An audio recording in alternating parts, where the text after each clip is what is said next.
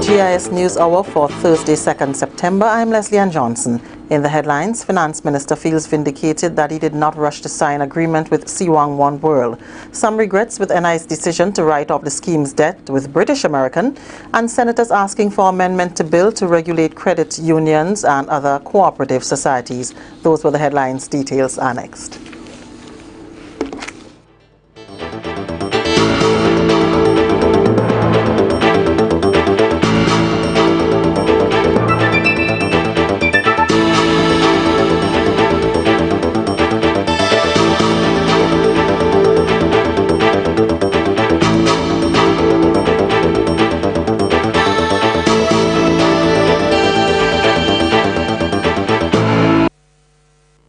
Students today to compete for the skilled job market of tomorrow is the new thrust of the Ministry of Education and Human Resources Development. According to a 2008 World Bank report, Grenada's future economic growth depends on the creation of a new capacity workforce to include skilled labor. This means that it is essential for students to be certified in skilled areas. Curriculum refocus is the answer. This is one of the ministry's main priorities for 2010, working with students, parents, and teachers to deliver the quality education and the demand for a new emerging job market. Refocusing the curriculum is aimed at providing academic and personal development support in the areas of technical and tourism education, citizenship skill, and personal development skills. It is imperative that you and all stakeholders work together to achieve a more holistic approach to education. Come on board. Let's build our nation together.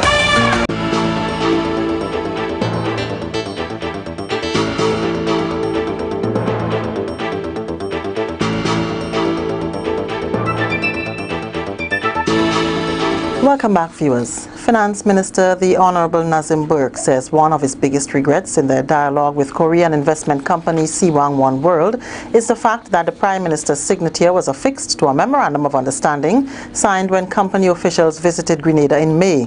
During a news conference at the Grenada Trade Center on Thursday morning, Minister Burke pointed to a major positive being the fact that he did not rush to sign any agreement with the company. As it stands now, he says they cannot say that they're going to sign alternate documents presented to company officials since Grenada does not want to get into business with possible crooks and criminals. This comes following reports that at least three people with ties to the company were arrested on suspicion of fraud. During a news conference held last week, Minister Burke and Vincent Roberts explained to members of the media that while Siwang One World presented an attractive offer for investment opportunities in the country, they had some concerns with the document presented to the Grenada delegation, which visited Taiwan in August, and so the minister advised that they not sign it. During a news conference at the Grenada Trade Center on Thursday morning, Minister Burke said when the alternate document was prepared, Grenada asked for specific information like the company's corporate history and track record, the origin of the funds, and its main representatives, among others, before any agreement could be signed.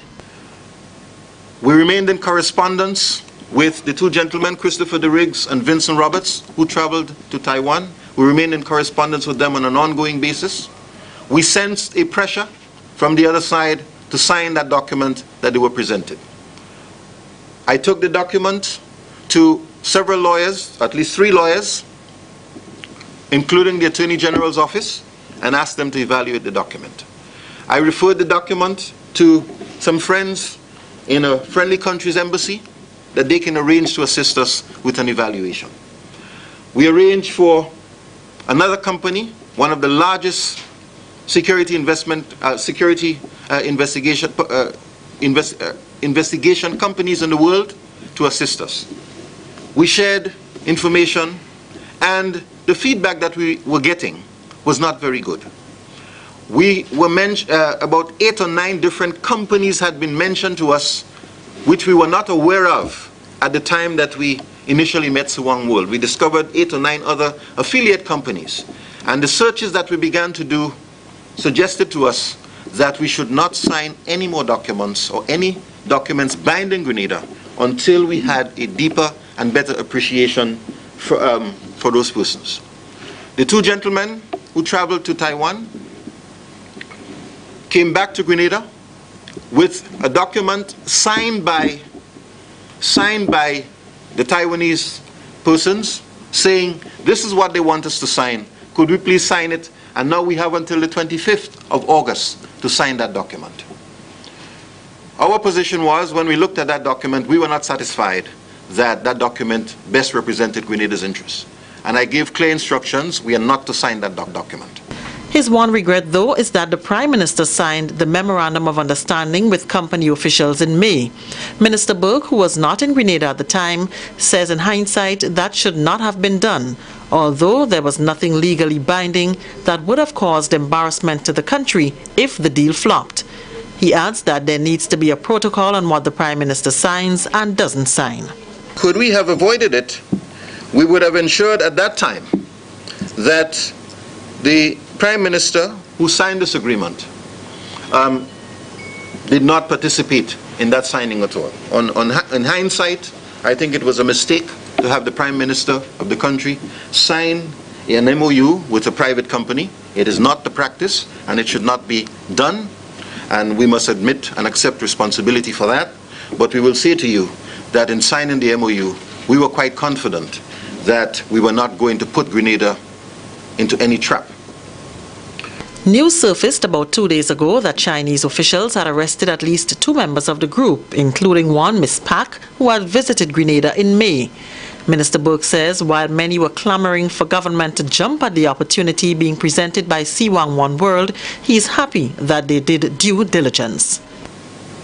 We were accused of sitting on the deal, but we stand by our position. We will not sign any documents.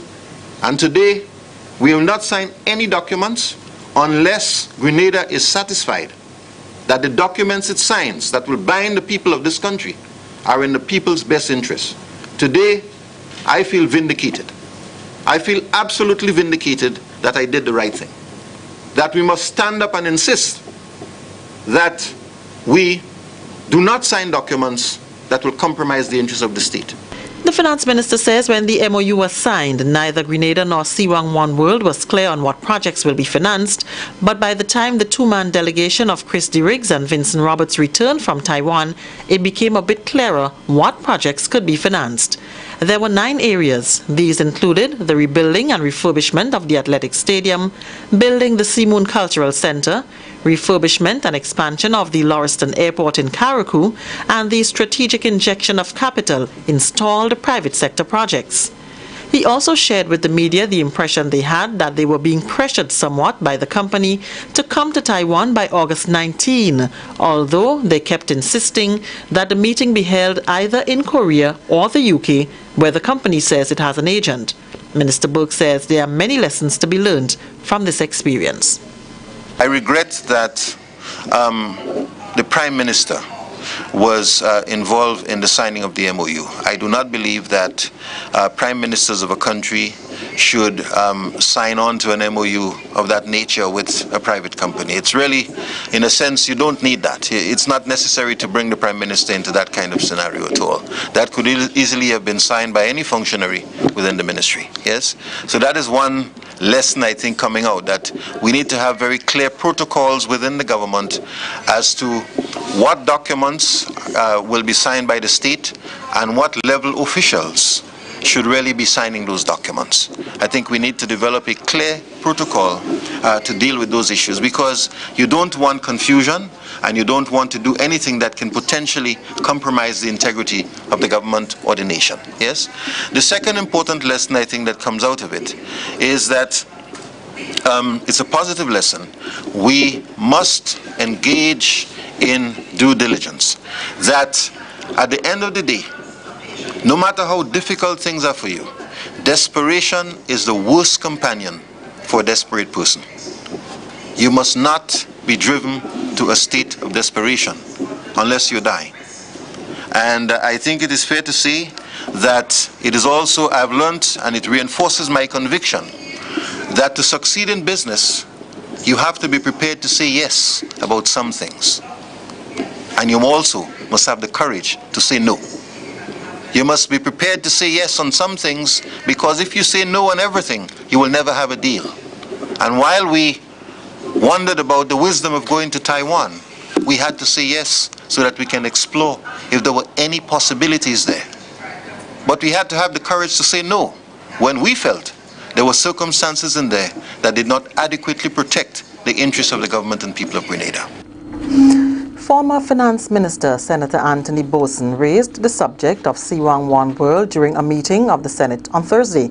He says the proposal by a company to inject at least $2.5 billion into Grenada's economy should have been enough to raise suspicions. Senator Boatswain also took issue with the composition of the delegation that visited Taiwan in August.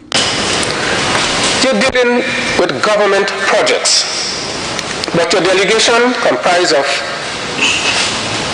someone on contract, not a tenured civil servant, and the PRO of your party. Going on Taiwan to do government business. Madam President, that cannot be transparent. Why send the PRO of the party to transact government business?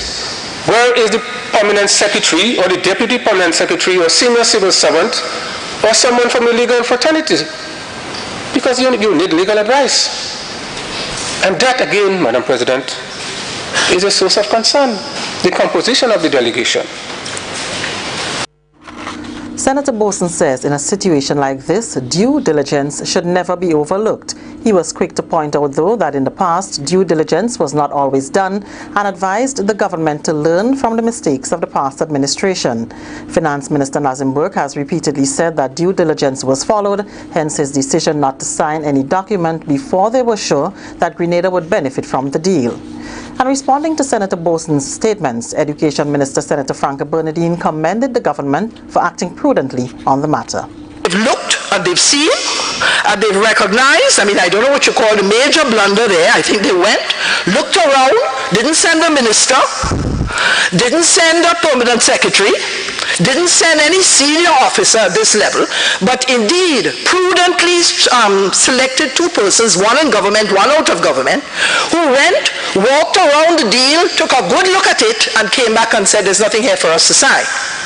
So while there are issues, as you say, we could learn from our experiences, I want to commend the government for its prudence in not committing anything further. And as I said before, I dare say it might have been different, judging from the history. Don't want to make any assumptions here. I also want to point out that a memorandum of understanding, you must keep in mind what it's about. Okay, and examine it carefully because these are things we spend a lot of time thinking about. We all sign them, and I know that I spend a lot of time considering them. And really what you're doing in many cases is opening up your opportunity there to continue further dialogue, right through to certain levels. But it, it doesn't carry the weight certainly does not carry the weight that one would do if you signed a contract or signed in. And I am pleased to note that perhaps what you describe as a major blunder, and I look with interest at such a statement, and I'm quoting your own words here, and sully the name of Grenada as being a wise step to withdraw while you can. Smell the rat and move back. Junior Culture Minister Senator Arley Gill